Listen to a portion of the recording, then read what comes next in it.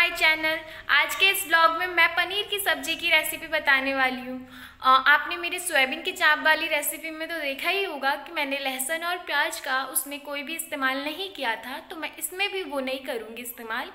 और अभी मैं आपको दिखाती हूँ कि मैं क्या क्या सामान का यूज़ करूँगी तो चलें। So so.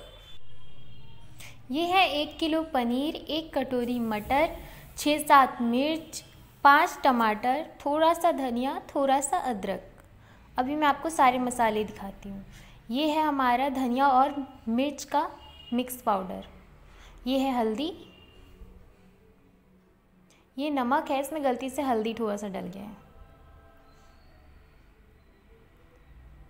ये है हमारा काली मिर्च। ये थोड़ा सा जीरा। थोड़ी सी काली मिर्च। साबुत। थोड़ा सा इलायची, दो तेज पत्ता और ये है हमारा पनीर मसाला। अब मैं आपको पनीर के पीसेस काट के दिखाती हूँ कि किस तरीके से हमें काटने हैं। आप इससे बड़े भी काट सकते हैं और बड़े, छोटे भी काट सकते हैं।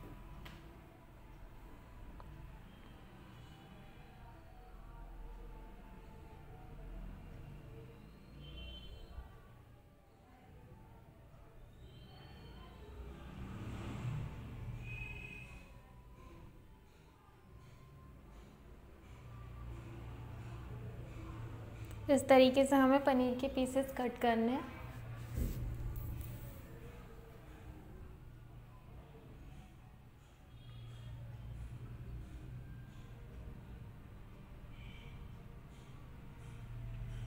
ये हो गए हैं, अब मैं फटाफट से सारे काट लेती हूँ।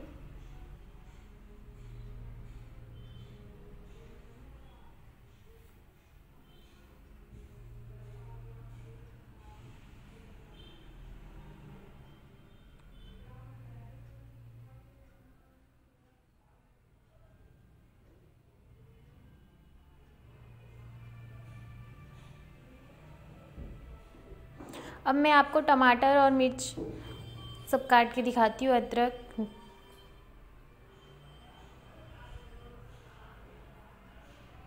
इस तरीके से मैं इसमें ही बारीक करूँगी। आपको अगर नहीं है ये तो आप क्या कहते हैं, मिक्सर में भी कर सकते हैं, लेकिन ज़्यादा बारीक मत कीजिएगा।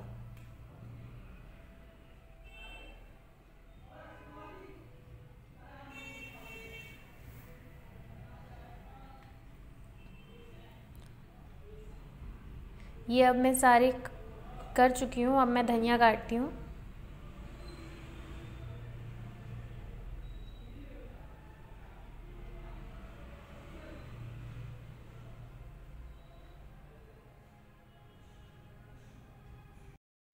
इस तरीके से हमें इन दोनों को बारीक कर लेना है।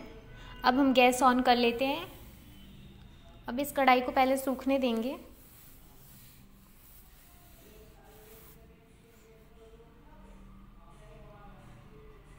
अब ये सूख चुकी है, इसमें हमने तेल डाल दिया है। तेल को पूरे में फैला देंगे ताकि हमारा पनीर इसमें चिपके ना।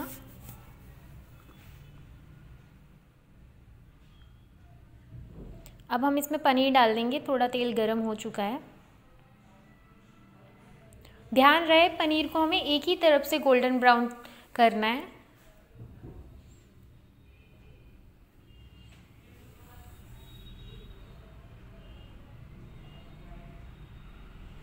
तरीके से फैला फैला के डालना है। एक के ऊपर एक नहीं डालना। है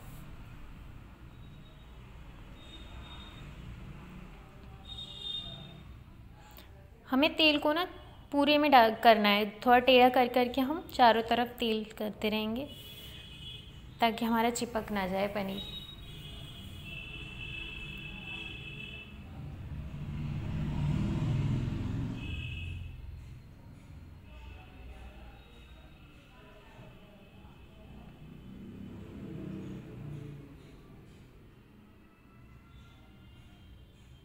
बीच बीच में भी हमें थोड़ा थोड़ा हिला हिला के तेल को चारों तरफ़ कर देना है।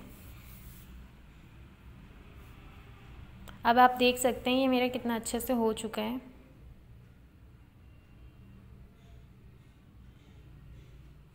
ये देखिए। अब हम इसे निकाल देंगे।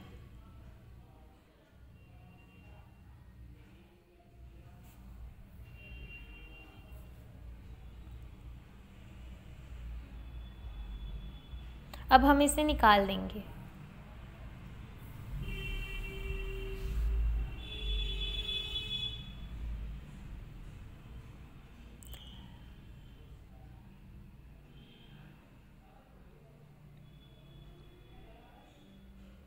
अब इसी तरीके से जो बचे हुए पनीर हैं, उसको भी मैं गोल्डन ब्राउन थोड़ा थोड़ा कर लूँगी एक तरफ़ से। ये मैंने कर लिया है।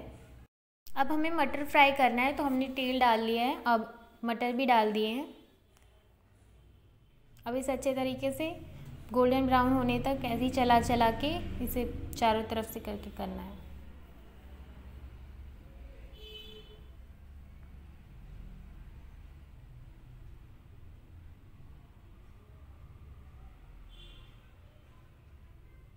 इसी तरीके से बीच बीच में चला देना है कि हमारा एक ही तरफ़ से जल ना जाए।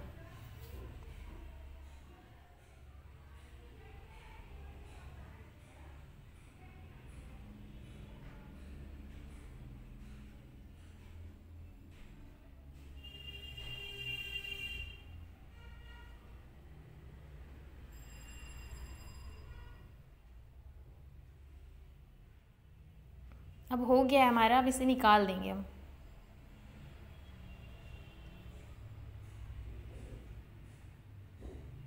अब हम इसमें तेल डाल देंगे कढ़ाई में सब्ज़ी बनाने के लिए। अब जो भी खड़े मसाले लिए थे वो सारे डाल दिए हैं हमने। अब इसे थोड़ा सा भून लेंगे।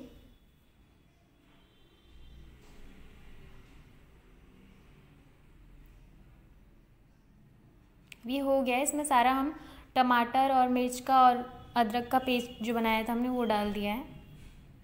अब इसे भी अच्छी तरीके से हमें भूनना है।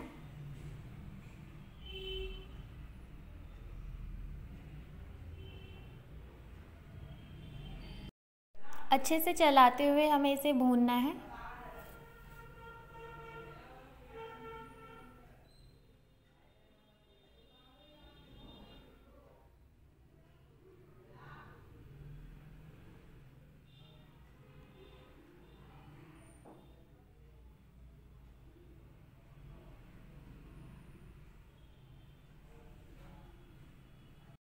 अब हमने जो मसाले लिए थे, सारे मसाले डाल देंगे इसमें।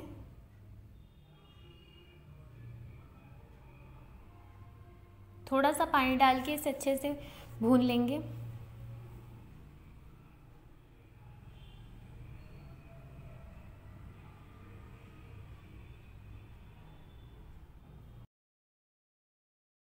अब इसके अंदर हम पनीर मसाला डाल देंगे और इसे थोड़ी देर और अच्छी तरीके से भूनेंगे। हमारा मसाला जितना अच्छा भुनेगा उतना ही अच्छा सब्ज़ी भी बनेगा।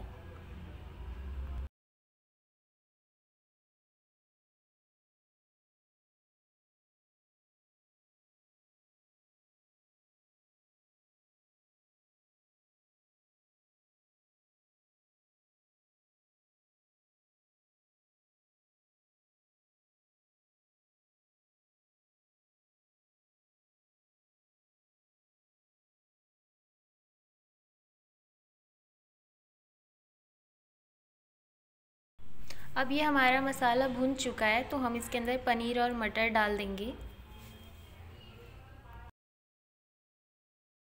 और इसे हम अब अच्छी तरीके से मिक्स करेंगे।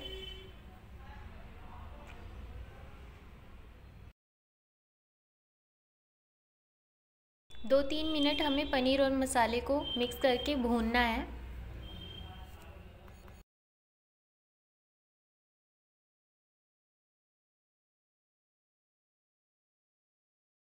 और अब हम इसके अंदर ग्रेवी बनाने के लिए पानी डालेंगे। आपको जितना ग्रेवी चाहिए उस हिसाब से पानी डालिएगा।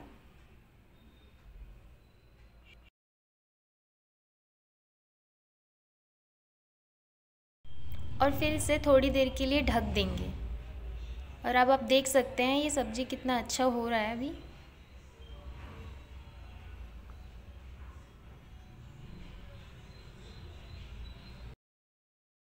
अब इसके अंदर हमने जो धनिया पत्ता काटा था, वो धनिया पत्ता डाल देंगे। और इसे भी थोड़ी सा मिक्स कर देंगे।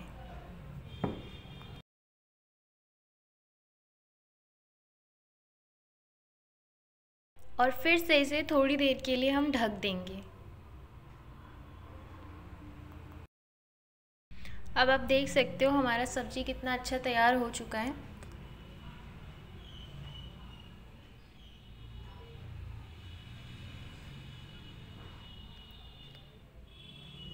अब इसे ढक के हम गैस बंद कर देंगे। और ये देखिए, हमारा सब्ज़ी कितना अच्छा लग रहा है। मैंने इसे पूरी और खीर के साथ सर्व किया है। आप जिसके साथ खाना चाहें, उसके साथ सर्व कर सकते खीर की रेसिपी तो मैंने इससे पहले वाले वीडियो में डाला था तो मैं आपको उसका लिंक डिस्क्रिप्शन में डाल दूँगी। आप वहाँ से देख लीजिएगा, अगर आपको ज़रूरत पड़ेगी तो। और क्या कहते हैं, आप प्लीज़ ट्राई मारिएगा कि सब्ज़ी कैसा बनाए और please like comment share subscribe ज़रूर कीजिएगा। And thank you for watching my video bye